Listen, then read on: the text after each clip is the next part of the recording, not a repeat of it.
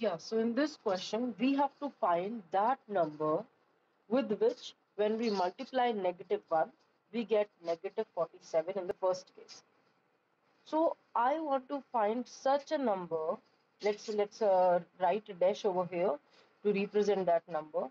That I need to find that number with when I multiply with negative 1, I should get the answer as negative 47. I need to find up that number. Now, very easy method. What is it? Over here we have a number as 1. Over here we have a number as 1. Now you should know this thing before that no matter what number you multiply with 1, for example you multiply 23 with 1, you are going to get back again 23 only. If you multiply 57 with 1, you're going to get 57 only. No matter what number you multiply with 1, you will get that number again back. Okay. So this should be the simple rule which should be known first that no matter what number you multiply with x, you will always get that number only. Okay. Now in this scenario, first of all, you are going to multiply any number with 1 and then you are getting 47. So that number should be 47. Like 47 multiplied by 1 will give you 47. As I said that any number multiplied by 1 is equals to that number only. So in this case, answer was 47. Over here we had 1 and we need to find that number. So that number should be 47 only because any number multiplied by 1 gives that number itself. So over here also at the place of question mark, we can write 47. But now the question is that shall we use the negative 47 or shall we use the positive 47? So in this question, we have to use positive 47. Why positive? Because when you will multiply positive with negative, then only you will get negative 47.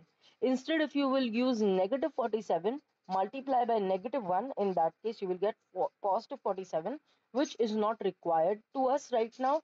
We are required for positive oh sorry negative 47 so this should uh, how do we say this? Okay let me write this thing. That is negative sign multiplied by negative sign gives us positive then negative sign or we can say positive sign multiplied by positive sign gives us again the positive then negative sign multiplied by positive sign gives us negative as well as the positive sign multiplied by the negative signs give us negative so we see wherever we have the same signs, wherever we have the same signs, the answer will be positive.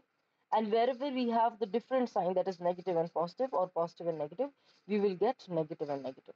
So over here also, what is happening? We were having negative 47 as the answer and we have negative 1. So what we have to do, we have to choose a positive number and we multiply the positive number with a negative number such that we get a negative answer. Now let me repeat whatever I said again. That is we need to find such a number we need to find such a number that when we multiply it with negative 1 we get negative 47 we need to find that number so first of all we know this thing that no matter what you multiply with 1 you will get that number only again back again so in this case we will use a number over here that will be 47 such that 47 multiplied by 1 is 47 but negative or positive positive. Why positive? Because positive multiplied by negative 1 will give us negative again. Now, let's do the second question. So in the second one, again, we have to find such a number when we multiply it with minus 1. Instead of getting negative 47 this time, we get positive 63. So first of all, if I'm getting positive 63, this thing is clear to me that I have to multiply with a negative number. Why negative number? Then only negative negative will become positive, right? One negative, uh, one is there and we need to choose another negative number such that our answer comes out to be positive because negative multiplied by negative is positive all right then what should be that number? The second thing which you have to keep in our mind is that you multiply any number with 1 you will get that number again. But in this case you are getting 63 so you just have to multiply it with 63 but positive or negative 63 it should be negative 63 such that negative negative will give you a positive answer. Then let's move to the third one.